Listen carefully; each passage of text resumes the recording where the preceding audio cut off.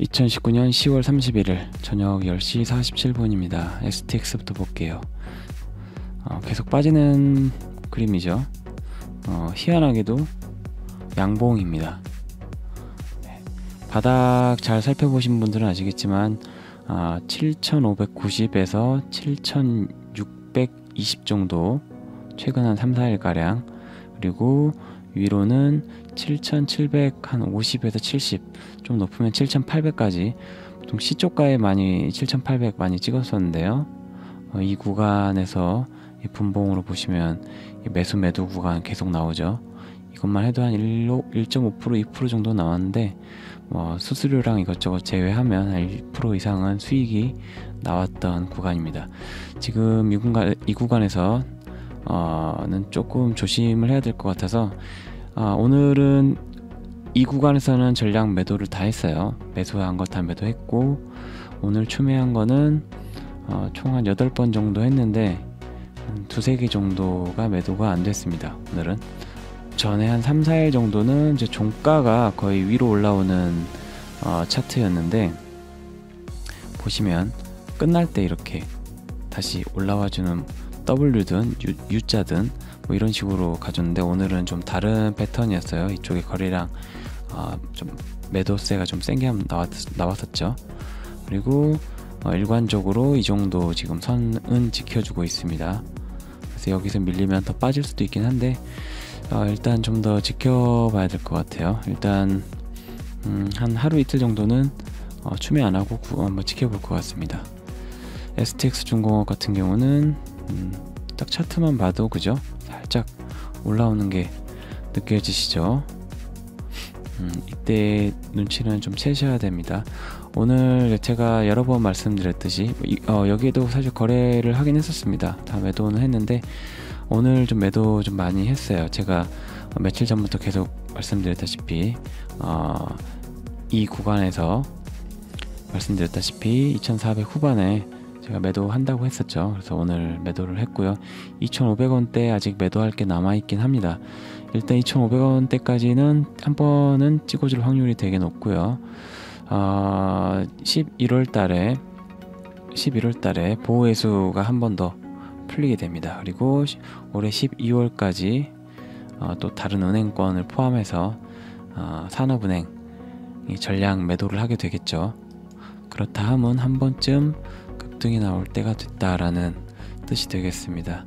일단 시간은 좀 더 걸릴 수도 있는데 어, 급등 나올 때 어느 정도 팔 수 있는 물량도 어느 정도 넣어야 되겠고요. 목표는 적어도 4,000원 정도까지는 4,000원, 4,500원까지는 봐도 될 거예요. 네. 일단 급등이 나오기 전까지는 평단 작업 많이 하시면 될 것 같습니다. 제 평단이 어, 계좌가 총 3개가 있는데 두 개가 이제 빨간색이 됐고요. 이제 하나는 작업을 따로 안 할 거예요. 그쪽은 무료 수수료가 아니라서 그래서 지금 가지고 있는 어, 것에서 계속 수익을 이제 어, 낼 예정입니다. 아시아나항공 보겠습니다. 아시아나항공 같은 경우에 5,080원에 매수해서 이날 팔았습니다. 고가가 5,400원이죠. 되게 운 좋게 어, 전에도 제가 말씀드렸던 딱 그 저항선이죠. 5,400원, 아 5,390원에 팔았네요. 5,390원에 추매한 거 다 털어내고 이날 다시 5,230원, 20원에 매수했습니다. 매수하고 어저께 좀 아, 이틀 전이죠. 이틀 전에 좀 더 올라줄 줄 알았는데 안 올라서 5,300원 초반에 걸어놨던 건 매도 못하고요. 5,130원은 잠깐 찍어서 제가 매수를 못했고 5,140원에 매수를 했습니다.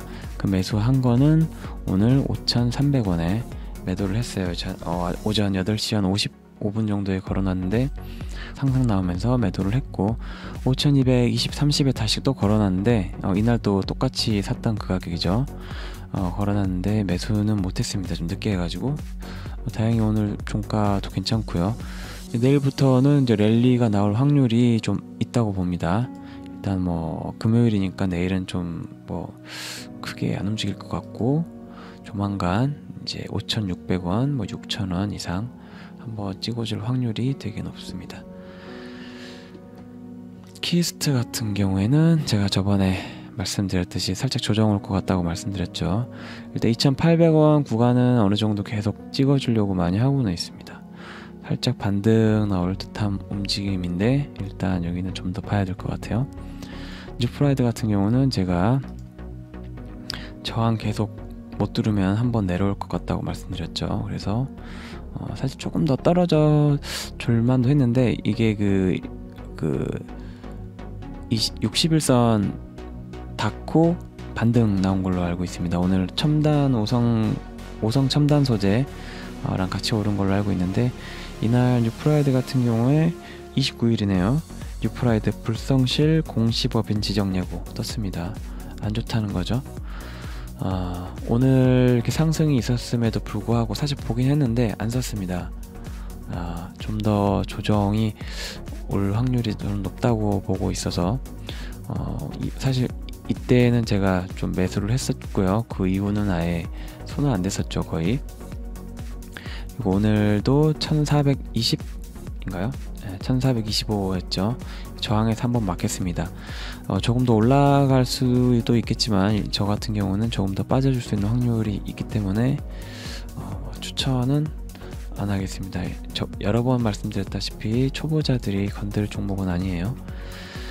유니캔 같은 경우는 음, 제가 원하는 가격보다는 좀 높기 때문에 우상향 느낌 좀 강하죠. 더 올라갈 확률 높습니다.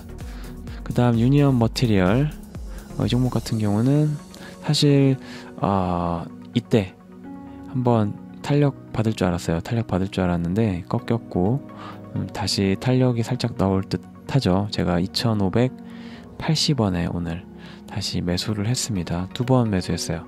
2,800, 2,580에 한 번 매수했고 2,600 잠깐 올라갔다가 다시 또 떨어졌는데 어, 일단은 한 번 더 샀습니다. 그리고 지금 평단 2,650원에 와 있어요. 상당히 안정권이라고 할 수 있죠. 그래서 어, 2,000한 700원 정도 오면 일단 절반 매도하고 꺾이는 거 보이면 전량 매도할 생각입니다. 사실 이 종목 같은 경우도 더 올라갈 확률은 있는데 정이 특별히 가진 않아서 네, 조만간 매, 어, 정리할 생각입니다. JS티나 같은 경우는 5,100원대 그쵸 좋죠. 이때가 이때 한번 매수했었고요. 추매했었고 좀 다시 떨어졌는데 지금 가격 나쁘지는 않습니다. 좀 더 떨어질 수도 있죠. 4,000원대 하지만 5,000원대는 거의 지켜주고 있기 때문에 이 구간 매수하셨다가 혹시라도 3차 회담이 오래 된다면 어, 급등이 한번 또 6,000원까지는 뭐 쉽게 뚫어줄 테니 한번 어, 보셔도 될 것 같습니다. 일단 재무는 좋은 것이에요. 푸른 개수 같은 경우는 15,000원 이하 때 사실 좀 더 떨어질 수도 있기 때문에 뭐 지금 가격 추천은 아니지만 15,000원 정도면 나쁘지는 않습니다. 일단 만 한 2, 3천 원 정도가 좋긴 한데 안 내려와 줄 수도 있어요. 어, 좀더 지켜보도록 하겠습니다. 유니아 댐체 같은 경우는 오늘 음, 좀 내려왔으면 아, 매수를 했을 텐데 그때 한번 놓치고 지금 그쵸 이쪽 선 따라서 이쪽 선 따라서 계속 올라가고 있습니다. 오늘 거래량 좀 터졌고요. 시위에도 조금 올랐는데 제가 사실 목표가가 거의 이 정도였기 때문에 조금 더 올라갈 수도 있습니다만 아, 관종을 이제 해제할 때가 된 것 같아요. 한 며칠만 더 보고 그냥 관종 해제하겠습니다. 매수 타이밍이 안 나왔습니다. 상상인 인더스트리 이 종목 같은 경우는 좀 상상인이라는 게 얼마 전에 또 PD 수첩에서 또 한번 또 흔들어줘 가지고 떨어졌는데요. 어, 이 종목 같은 경우에는 패턴이 생각보다 안 잡혀요. 잘 안 잡혀 가지고 어, 조만간 정리를 할 생각입니다. 일단 외국인이랑 프로그램 조금 들어오고는 있어요. 그래서 어, 조금 더 올라올 것 같긴 한데 분위기는 지금 1,600원대 에서 어느 정도 버텨는 주고 있습니다. 버텨는 주고 있기 때문에 1,600원대에서 한 1,700, 한 초중반 정도 매도하면서 한두 번 정도 작업이 가능하긴 한데 일단 어, 제가 이 종목 같은 경우는 이제 손절을 했습니다. 손절을 1700 이때 시외에서 어, 시간의 단일가에서 7000 1705에 어, 어, 그동안 추모했던 거 다 매도했었고요. 있고 지금 나머지만 들고 있는데 급등 한번 나오면 윗골이 나오든 급등이 나오든 아마 거의 다 정리할 것 같아요. 아, 이 종목은 이제 손절 처리하는 걸로 하겠습니다. 유니언 머티리얼즈 어, 좀 꺾이긴 했는데 예, 이 종목도 조금만 더 보고 이제 관종 해제하도록 하겠습니다.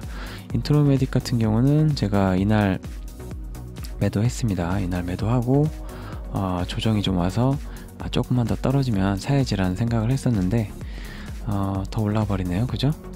6,000원 정도면 많이 오를 만큼 올랐다고도 볼 수 있어요. 지금 캡슐 내시경 기대감 때문에 만 원 이상 찍어줄 확률도 상당히 높습니다. 이런 차트 지금 어, 신규 입성은 사실 좀 무서울 수 있는데 이 저점에 가지고 어, 매수하셨던 분들은 즐기면서 보시면 될 것 같습니다. 한국화재 EUB 거래량이 여전히 없습니다. 조금 더 떨어져 주면 보도록 하겠습니다. 헬릭 스미스 같은 경우도 제가 10만원 항상 목표로 잡는다고 했죠. 일단 어느 정도는 버텨는 주고 있, 네요 그죠? 그렇기 때문에 어, 조금 더 올라간다면 지금 저항이 센데 저항 뚫으면 한 13에서 한 17만 원까지는 올라갈 거예요. 한 30에서 70, 70% 정도 어, 수익 낼 수 있는 종목이긴 합니다만 제가 그렇게 잘 아는 종목은 아니라서 뭐 추천은 하지 않겠습니다. 일단 10만 원 저항이 센 것만 어, 알고 계시면 되겠고요. 수성 같은 경우는 아, 3천 얼마였죠? 3,200원 제가 고가가 3,115에서 끝났는데 3,200원에 제가 팔면 된다라고 말씀드렸었죠. 아쉽게 못 찍고 내려왔습니다. 어, 어쨌든 3,000원 이하에서 2,800원대, 뭐 900원대 이 정도가 좋습니다. 그래서 3,200원 목표로 보시면 되겠고요.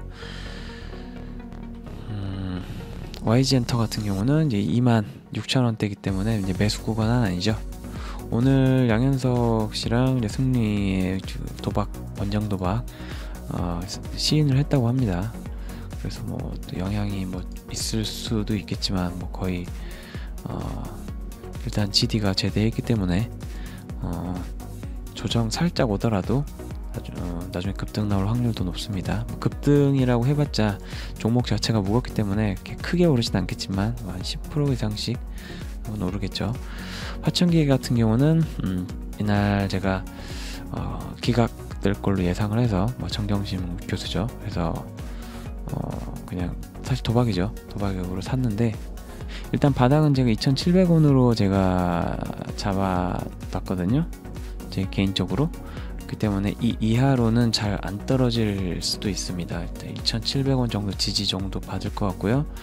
어, 한 번 더 떨어진다라고 하면 조국 교수 검찰 조사 받으러 가기 전날이나 뭐 이럴 때 한 번 더 덜컹 할 수는 있겠으나 한 2,500원 정도에서 버텨, 줄것 같아요. 2,300원, 500원 이 구간 매수하면 웬만하면 수익은 나올 수 있다라고 보고는 있습니다.